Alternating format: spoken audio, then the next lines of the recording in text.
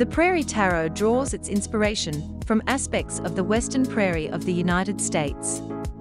The deck has a Rider-Waite basis and an extra card, the Jackalope, for a total of 79. From Robin Ator, creator of the International Icon Tarot. The characters and scenery here are, by turns, whimsical, charming, and amusing. The minor arcana use the standard suits of pentacles, cups, swords, and wands, and are numbered. The major arcana are UN numbered. There is one additional card, titled the Jackalope. The card borders are black, and the card back features a 12-spoked wooden wagon wheel on a black field. Check our links in the description to see these cards on Pinterest, along with more info about this tarot deck.